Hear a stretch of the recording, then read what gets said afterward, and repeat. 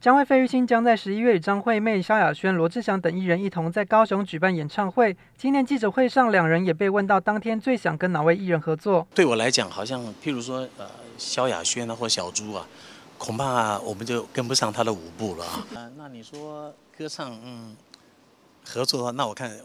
我还是要紧紧的抓住江蕙了。与江蕙好交情，费玉清现场自曝两人常半夜孤男寡女共处一室，聊到天亮，让江蕙在现场直接向他逼婚。因为我的朋友只有你一个，反正就我一个。对呀。哎呦，我也是只有你一个朋友。啊。哎呦，那所以你说这两个人还不结婚是干嘛呢？对呀，对呀，现在是你在跟他求婚啊。一天，陈拓无罪采访报道。